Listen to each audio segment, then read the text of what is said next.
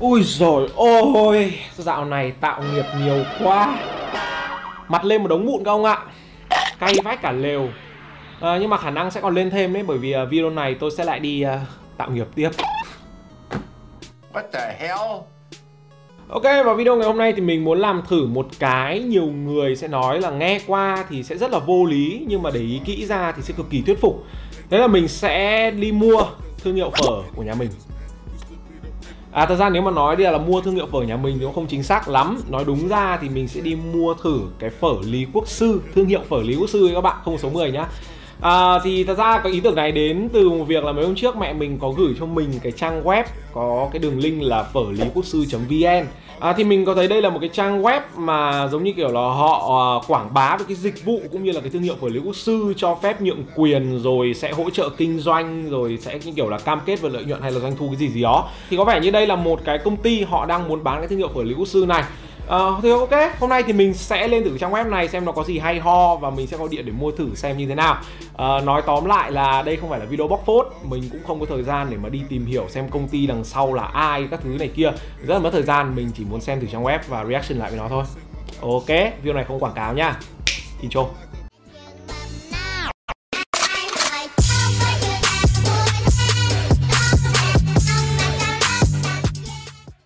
Rồi ok, bây giờ thì mình đang ở cái phần trang chủ của cái trang web phở lý quốc sư.vn này đây rồi. Thì uh, lướt qua một chút thì uh, có thể thấy trang web thiết kế khá là kiểu đơn giản, không nhiều chữ lắm. Uh, Phần nào ra phần đấy rất là rõ ràng, tạm thời nhìn trước mắt là như vậy. Uh, Bây giờ chúng ta sẽ nhìn vào cái trang chủ này trước, sau đó thì chúng ta sẽ đi từng mục nhá. Uh, Đầu tiên thì mình sẽ nhìn thấy một cái banner đang chạy quảng cáo Tư vấn mở quá đầm thực 100% thành công, doanh thu 6 triệu một tháng. Ở dưới là hoàn lại toàn bộ chi phí. Tức là như nào các bạn? Mình mình không hiểu cái phần hoàn lại toàn bộ chi phí này lắm ấy. mình mình mình mình nghĩ là hay là nếu như không đạt đủ 600 triệu một tháng người ta sẽ hoàn lại toàn bộ chi phí mua thương hiệu này. Hay là khi mà đạt đủ doanh thu là 600 triệu một tháng giống như kiểu là bài tập ấy sẽ được người ta thưởng và người ta trả lại cái chi phí mà mua bản quyền. Nói chung là cái này mình không biết các bạn nếu mà biết thì có thể comment với giới mình nhé mình chịu. Uh, ở đây chúng ta có thêm một cái banner nữa ghi là đầu tư 450 triệu, doanh thu 600 triệu một tháng. Chân chứ gì nữa mà không mở ngay một quán phở Lý Quốc Sư. Ok và bên cạnh là một cái bát phở rất là ngon. Thì uh, mình đã bắt đầu nhìn ra có một cái điều điểm gọi là bất thường ở đây. À, nếu như các bạn để ý kỹ trong cái tấm hình banner này cái hình ảnh chụp bát phở ấy và các bạn nhìn lên góc trên nó có cái cái gói giấy ướt ấy thì các bạn sẽ nhìn thấy cái logo của nhà mình đây có thể nói là một trong những cái tấm hình chụp rất là khéo, bởi vì là nó chỉ chụp cái đấy, nó ghi mỗi ra chữ quốc sư thôi. Nhưng mà mình tin chắc chắn rằng là cái gói giấy ướt này là của nhà mình, bởi vì cái logo này là logo nhà mình và bố mình thiết kế cái logo này. Mình dám khẳng định cái này luôn không thể quên được cái ngày mà bố tôi vẽ ra cái logo này được ông ạ? Năm đấy mình nhớ là 2005 2006 thì đấy mình bị bắt vì tội là trốn học thêm đi chơi điện tử. Thế là mẹ về bảo lên nói chuyện với bố. Thế là đúng lúc bố đang thiết kế logo này bố lên không nói không rằng gì ra tặng cho con bốn phát tát. Đó xong quay lại logo tiếp.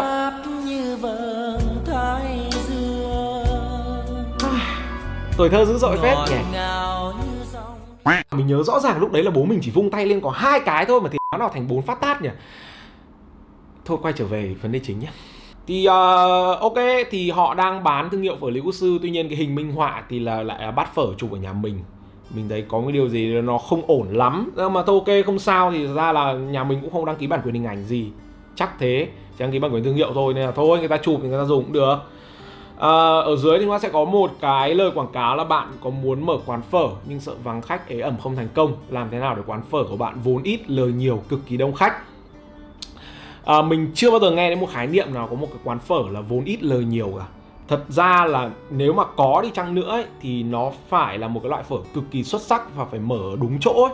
ví dụ như ngày xưa mở trong ngõ văn trương có một cái bác này bác ấy bán phở bò bác ấy mở cái quán ra thì chắc chắn là vốn rất là ít rồi bởi vì nhìn đồ đạc các thứ rất là thô sơ chỉ kiểu quán phở bình dân ở chợ ấy. Thế mà cực kỳ đông. Và đó là lời nhiều bởi vì là bác ấy mở một cái quán phở mà có chất lượng đồ ăn rất là tốt mức giá phải chăng? Bác ấy mở trong ngõ Văn Trương là một cái khu vực mà rất nhiều người lao động uh, chân tay. Thì cái quán đấy nó nằm ở đúng vị trí như thế thì nó mở sẽ rất là thành công. Thế nhưng mà nếu như mà chỉ nói mỗi một câu là làm thế nào quán phở bạn vốn ít lời nhiều và cực kỳ đông khách ấy, thì mình thấy là nó hơi bị mời chào quá. Uh, nói thế nào nhỉ? Nó không dễ thế đâu. Mình theo như mình quan sát thì mình không thấy nó dễ thế đâu. Rồi phía dưới thì chúng ta sẽ có đến là đã biết đến phở lý quốc sư chưa? Rồi công thức gia truyền nhiều đời từ đầu bếp từ của chính nơi khai sinh ra phở món lý quốc sư tức là bếp gốc. À, nhà mình thì không phải là gốc cái phở lý quốc sư mọi người hay nhắc từ xa xưa đâu nhá. Nhà mình mở là bắt đầu năm 2005 2006 nên là nếu như mà cái người này nói thì nó không sai không không kiểu như là nhà mình không phải là nơi khai sinh ra phở lý quốc sư nhà mình chỉ là làm cái thương hiệu đó thành công thôi. À, cam kết doanh thu 600 triệu. Một tháng kinh doanh 6 tháng đã hòa vốn. Ok uh, nếu như người ta làm được thì đấy là một kỳ tích. À, tư vấn thiết kế hỗ trợ đào tạo nhân sự 100% cái nghĩ là cái này thì uh, có thể hiểu được. Rồi cái này thì ok này. Rồi chúng ta sẽ đến với tiềm năng kinh doanh. Giờ rất xin lỗi các bạn vì cái sự kiểu đè chữ như này mà bởi vì là mở bằng ipad nó không được tối ưu lắm ấy. Rồi tiềm năng kinh doanh món phở làm thứ đó là nội đó phát triển 19 tức là giáo quốc gia độc quyền các thứ. Ờ, ok cái này là quảng cáo ờ, của cái tập đoàn này. Bạn sẽ nhận được quyền lợi khi mở quán phở. Cái gì? Ở à, thường quốc gia tư vấn cho bài bằng với tới tới tới à, được truyền tạo ra công thức các thứ các thứ rồi ok. À, chúng ta kéo xuống tiếp nữa thì chúng ta sẽ có ngay gọi ngay hotline để được tư vấn và ở dưới chúng ta có phần thực đơn của phở lý quốc sư. Ok và ở đây thì mình nhìn thấy có hai cái tấm hình nó có vấn đề. À, là bát phở tái bát phở đặc biệt. À, vấn đề là phở lý quốc sư là phở bắc. Hai cái bát phở này là bát phở nam và điều quan trọng nữa là hai bát này nó giống hệt nhau khác nhau cái gì cả các bạn nhìn hình đi. Mẹ giống hệt nhau một ông phở tái một phở đặc biệt. Thế thì tại sao phải gọi phở đặc biệt làm gì? Gọi mẹ phở tái cho rẻ đúng không? Đấy và cái điểm đặc điểm nhận dạng là ở đây hình như là có rau cái kiểu cái rau húng quế hay là rau gì đấy của miền Nam ấy với cả bò viên. Cái đấy chỉ miền Nam họ ăn thôi. Thì chứng tỏ là thực đơn này là không phải thực đơn của Lý Quốc Sư Bắc chắc là của Lý Quốc Sư Nam. À, ở dưới thì chúng ta sẽ có phần chia sẻ các chủ quán phở Lý Quốc Sư đã mở. Tôi đã thật sự hài lòng quán mở đã hai tháng đã rất đông. Cảm ơn ẩm thực quốc gia đã giúp tôi kinh doanh rất thành công được copy paste ba lần không ạ? Để ngang các mẹ nhau rồi luôn. Ok ok ok. Chắc là ba anh em sinh đôi. Chắc ba anh em sinh đôi. Ok và ở dưới thì chúng ta có thêm là cập nhật tin tức về phở. Thì có rất nhiều những cái uh, bài viết ở đây. Có phở bát đàn này phở ống thìn lò đúc này phở gánh hàng chiếu. Thì có cái phở lý quốc sư. Thì ok thì bây giờ thì mình sẽ à đây nhá các bạn nhé. Cái tấm hình mà ở trên cái chữ mà phở lý quốc sư đậm đà hương vị phở việt truyền thống này này thì cũng chủ của nhà mình luôn. Các bạn nhìn ở góc có cái phần menu ấy, nó ghi là phở 10 lý quốc sư ấy. Đấy, cái này là chủ của nhà mình nhá. Rồi, và nếu như mà khách nào mà có ý định mà mua cái thương hiệu này thì rất tiếc mọi người là mọi người sẽ không có hình ảnh đâu, bởi vì hình ảnh chụp ở nhà em. Nhà em có cái logo với cả cái tên là phở 10 lý quốc sư thôi. Đó. Thì ở đây có chụp ảnh này. À đây đây đây đây. Ôi, thầy ẩu ẩu vãi trưởng các bạn ạ các bạn nhìn thấy cái ông mà đang góc thịt này không? Ông này là ông cậu mình. Nhìn của ảnh xong mình biết ngay ngày nào mình cũng gặp mình biết mà. Ông cậu mình xăm hình của cụ võ nguyên giáp bên trên tay mình nhìn phát biết ngay. Ố không hiểu sao ảo thế nhỉ? Uh, kéo xuống bát phở dưới thì uh, mình không ấy nữa. Ở dưới này thì có một cái bát phở chụp một cái lô ờ, chụp với một cái menu màu cam khá giống nhà mình nhưng không biết phải không. Ok.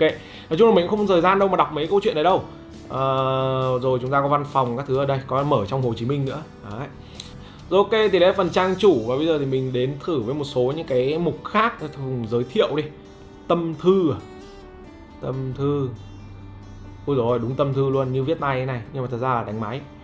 À, đây là có lẽ là một tấm tâm thư của kiểu CEO à? hay ai nhỉ?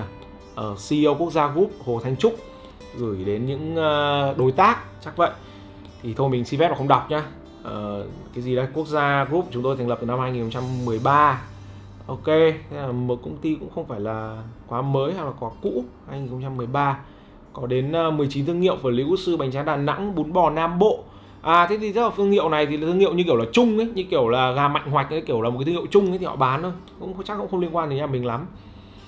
Rồi đã mở thành công trên 500 quán gây phết nhỉ à, ờ, tỷ lệ hoạt động 3 năm đạt cái gì tỷ lệ hoạt động trên 3 năm đạt 95% tức là sau 3 năm vẫn còn tốt đấy tức là vẫn vẫn còn đủ tiền để để nuôi sống ấy chứ chưa chưa kiểu phá sản đấy thì là 95% sau 3 năm. Còn 5 năm thì chưa biết. Ok đây là phần tâm tư này. Còn uh, có giới thiệu dưới thì có dịch vụ. Uh, dịch vụ thì chắc là nhượng quyền thôi. Thôi thì mình sẽ phép không bỏ qua cái này. Quán ngon thì chúng ta có vào thực đơn đây này. Nghe quán ngon này nghe giống của mình mình liên tưởng đến quán ngon kiểu uh, quán ăn ngon đấy quán đây là ngon đấy rồi cho có quẩy ăn kèm trứng chân này mì xào bò phở xào bò đây á. Cái này là bà thái mà. Sao lại ẩu đi là làm web ẩu vãi đái. Không được không được không được. Phở tài chín tái gầu phở đặc biệt rồi các thứ rồi phở tái ok. À, chúng ta có bếp trưởng. Bếp trưởng là bếp trưởng à, tài sản vô giá có đặc sản quốc gia. Chắc là bài này nó nói về cái tầm quan trọng của bếp trưởng trong trong trong một cái nhà hàng. Thì ở đây có ba ông. Bếp trưởng thì mình nhận ra Gordon Ramsay. Thì um, chắc là mình nghĩ là mọi người sẽ tự động sẽ hiểu là đây chỉ là ảnh Gordon Ramsay để đấy thôi, chứ không ai mặc định là Gordon Ramsay sẽ là đầu bếp trưởng cho cái cái nhãn hàng đặc sản quốc gia này cả. Chắc chắc là mọi người nghĩ thế đấy. Nên là đây đây không phải lừa đảo gì đâu. Rồi, chúng ta sẽ sang mục giải thưởng. Wow wow, ở đây có lẽ là đã có rất là nhiều giải. Chúng ta có rất là nhiều giải, top doanh nghiệp, giải thưởng doanh nghiệp tiêu biểu các thứ các thứ. Có rất nhiều cúp ok lý quốc sư các thứ thứ ok. À, rất là chúc mừng đến à, đặc sản quốc gia hay là quốc gia group vì đã đạt được rất nhiều giải thưởng như thế này. À, cửa hàng mẫu oh, cửa hàng mẫu có gì ta? Cửa mẫu vẫn là ảnh phở ở dưới thì xua là cái ảnh mà đang chan phở này thì không phải là phở lý quốc sư. Cái này chắc là phở bát đàn hay là phở gì đấy nói thật là mình mình không đi ăn phở bát đàn các thứ mình không biết đâu. Không biết là phở tín hay phở bát đàn thì nói chung là phở này thì trên phố cổ nhưng mà không phải phở lý quốc sư. Cái style phở lý quốc sư mà mình thường thấy thì nó không phải như này à, báo chí. À, ở đây chúng ta có hai mục là dân trí và vn express. Dân trí 6 giải pháp hàng đầu giúp kinh doanh quán thành công. Cái này là đâu phải là viết về cái quốc gia group đâu đúng không? Cái này là à à à rồi rồi rồi rồi rồi rồi hiểu rồi hiểu rồi hiểu rồi hiểu rồi. À có có có quốc gia group mình xin lỗi mình chưa kịp đọc kỹ. À, tức là tóm lọn lại là cái này là để quảng cáo cho quốc gia group. Rồi ok và chúng ta có thêm một mẫu báo nữa là vừa vào dân trí vn express đấy nhỉ? Đấy, vào bây giờ vào vn express.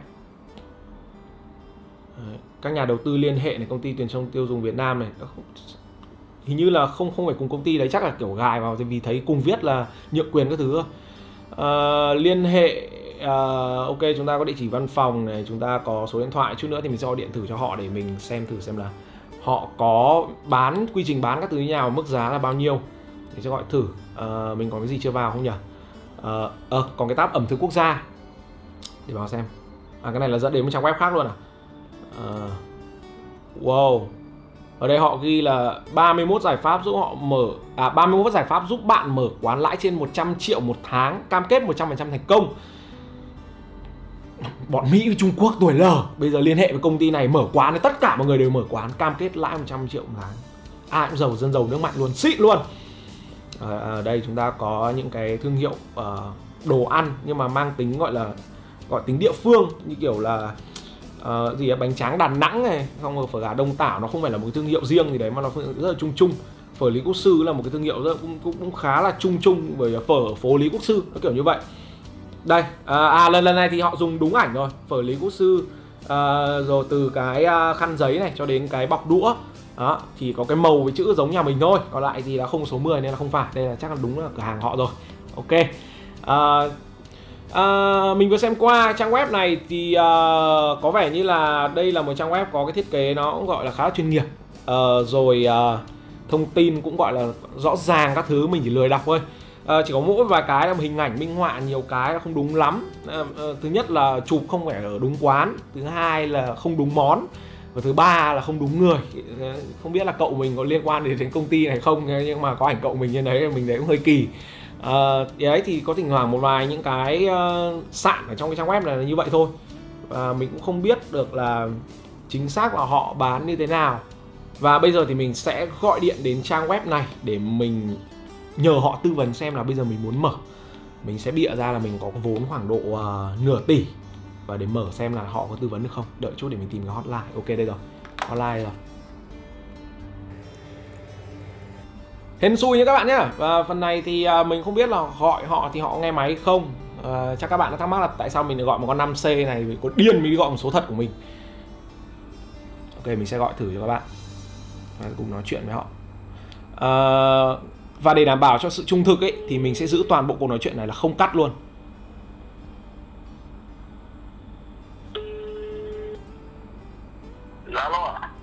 Alo, chào anh ạ. Vâng, chào anh. À, cho tôi hỏi đây có phải là hotline của thương hiệu phở Lý Quốc Sư của đặc sản quốc gia đúng không? À, vâng, chào anh ạ. Anh nghe rõ không ạ? À vâng vâng, anh nghe rõ không ạ? Anh nghe được không à, ạ? Vâng, mình, mình nghe hơi, rõ thôi À vâng, vâng. À, tôi có lên à, trên à, web của bên mình thì à, hiện nay thì tôi đang muốn mua thương hiệu về anh ở tỉnh nào nhỉ Ờ, tôi tôi à, tôi ở Hà Nội thôi. Tôi ở Hà Nội, tôi, ở khu vực Hà Đông. vâng anh muốn mở khu vực nào ạ À, tôi muốn mở khu vực à, Tố Hữu ấy, khu vực gần Dương Nội á. Alo, anh nghe rõ không ạ? Alo. Alo. Vai trưởng mẹ cái điện thoại cũ quá đợi tí ngồi gần vào tí nữa.